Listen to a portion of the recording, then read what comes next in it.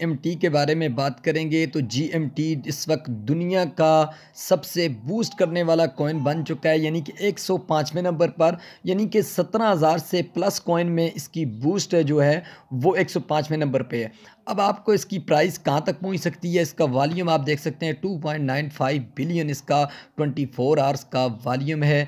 तो फ्रेंड्स मैं आपको बताना चाहता हूँ, इससे कबल भी मेरी जितनी वीडियोस भी हैं, मैंने आपको यही रिकमेंड किया था कि आप अगर इसके अंदर एंट्री लेते हैं। 20 डॉलर तो आपने इसके अंदर रखने ही रखने हैं। बिल्कुल आपने उनको निकालना ही नहीं है।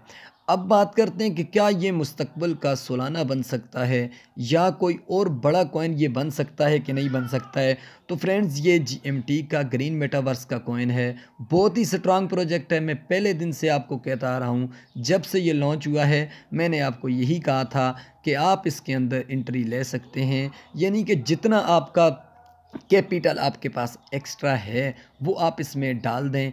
अब फ्रेंड्स, आपके, मैं कहता हूँ कि अगर आपके पास बहुत ही कम सरमाया है तो 20 डॉलर का आपके पास हर वक्त जीएमटी आपके पोर्टफोलियो में होना चाहिए। अगर ज़्यादा है, वो भी आप रख सकते हैं।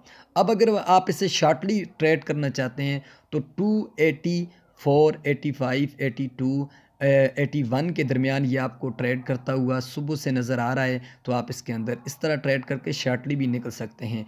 उम्मीद है कि ये इसके अंदर और भी बूस्ट आएगा 3.03 से उम्मीद यही की जा रही है। तो फ्रेंड्स, आपने इसके अंदर कुछ ना कुछ 20 डॉलर जो मैंने आपको कहा एक बहुत ही कम वैल्यू की रकम मैंने आपको बताई है, आप रख लें। अगर ऐसा हो जाए कि ये पचास डॉलर, बीस डॉलर, तीस डॉलर तक या सौ डॉलर तक पहुँच जाए ताकि कल के दिन आपको कोई हसरत ना हो। और अगर नीचे भी आ जाता है तो बीस डॉलर के बजाय आपके पंद्रह डॉलर, चौदह डॉलर हो जाएँगे। फिर भी आप जो है एक कह देंगे कि हमने इसके अंदर इंट्री तो ली थी। तो फ्रेंड्स अब कोई नहीं बता सकता है न्यू कॉइन के बारे में कि ये कहाँ तक पहुँच सकता है, कि कहाँ तक नहीं पहुँच सकता। क्योंकि नए प्रोजेक्ट होते हैं ओल्ड प्रोजेक्ट ने जहाँ तक आई लगाया होता है, उसमें ट्रेंड रिवर्सर होता है। तो ऐसे कॉइन में कोई भी आपको ये नहीं कह सकता सौ फ़ीसद कि ये कॉइन पचास डॉलर या सौ डॉलर या दो सौ डॉलर तक जा सकता है। तो उम्मीद है आपको कुछ ना कुछ समझ आया होगा। आया हो तो वीडियो को लाइक करके चैनल